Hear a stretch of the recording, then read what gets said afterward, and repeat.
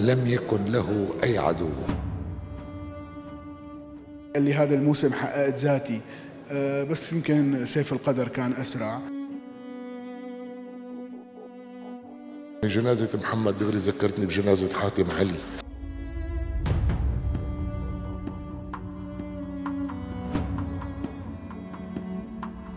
لم يكن له أي عدو لم يكن له أي منافس. ما بتطلع منه غير الكلمة الحلوة. بقى الواحد بيزعل على كل هدول. هو كان عم بيقول لي قبل إنه أنا بدي أعمل القسطره قلت له لا تخاف ما فيها شيء لأنه أنا عاملها. أنا عاملها من أربع سنين ومركب شبكات. قلت له ما فيها شيء ليك عايشين وهذا وعملها يعني خلص منها. قال لي بس لخلص تصوير. هلأ هو يمكن تأخر يمكن نحن ما بنهتم شوي بصحتنا ونشتغل بأعصابنا أكثر بقى هذا الشيء اللي بيأثر. ما فينا غير نقول إنه سنة الحياة. ثلاث أيام من بس هو جرح حقيقة لن يندمل قال لي هذا الموسم حققت ذاتي. آه، بس يمكن سيف القدر كان أسرع. محمد حقيقة حدا معطاء بكل مطارح حياته.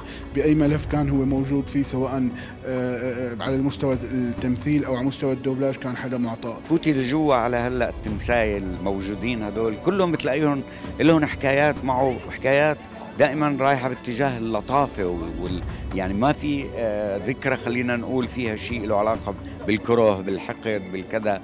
هو حدا كان محبوب يعني. وزادت محبة الزملاء له لما صار مدير شركة صار عنده هاجس أيضا يعني ضمن إطار هذا خلينا نقول الوضع الاقتصادي الخانق اللي عايشة فيه البلد صار عنده هاجس أنه ي- يساعد زملائه اللي ما عم يشتغلوا جيبوهم آه، خليهم يشتغلوا بالدوبلاج بالكذا.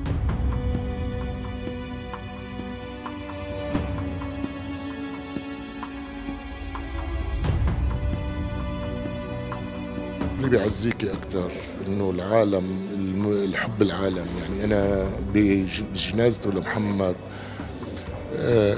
شيء بيواسينا شيء بيعزي الفنانين إنه نحن جهدنا ما عم بيروح على الفاضي تعبنا ما عم بيروح على الفاضي حب العالم ظريف يعني جنازة محمد دغري ذكرتني بجنازة حاتم علي. محمد رجع عزز هالمقولة بموته إنه الفن آه العالم بتحبه والعالم تحترمه وتقدره. ألسنة الناس أقلام الحق. محمد شهدوا فيه الناس حقيقة. وهو هو أهل هي الشهادة. مو بس الوسط الفني اللي فجع فيه. الناس كلياتها واصلها محمد. واصلها بكل ما يعني كشخص وكفنان وكفاعل بالوسط الاجتماعي. فمنشان هيك كانت الجنازة عفوية وطلعت العالم بس لتعبر قديش هي بتحب. مو بس كمان بتحب كمان إنه قديش برأيها الفن مؤثر فعليا. يعني يعني فنان مثل محمد ورغم كثير من ال- الشوشرة اللي طلعت على آرائه كان ممكن أنه يكون له مؤيدين وبعض المخالفين لرأيه. ولكن محمد قدر يجمع الناس كلها على كلمة هي صادقة طلعت منه. ما بنقدر نقول غير الله يرحمه.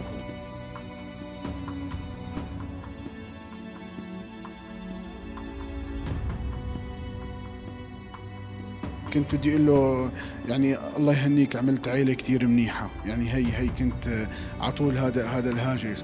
محبين له لمحمد حقيقة. يعني بيخافوا عليه لمحمد بطريقة فظيعة. عم بحكي على الأولاد وعلى الأسرة.